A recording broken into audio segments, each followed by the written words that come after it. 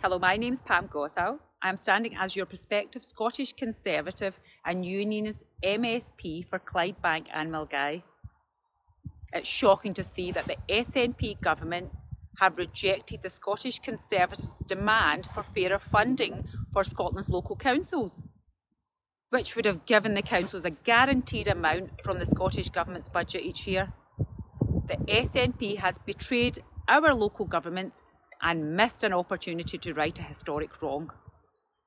In my constituency here in Clydebank and Milngavie, East and West Dunbartonshire Council would have really welcomed this money from the Scottish Government so that they could have supported our local people, our communities and businesses to move on and rebuild from the COVID pandemic.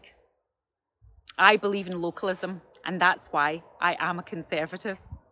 The Scottish Conservatives are the only party to vote for in May's Scottish parliamentary elections. We are the only party that believes in local investment and will hold the SNP to account and stop another independence referendum.